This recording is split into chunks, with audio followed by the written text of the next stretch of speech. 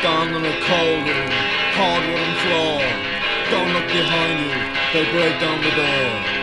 Open the window, pull back the clouds, let the light shoot from the dust that enshrouds.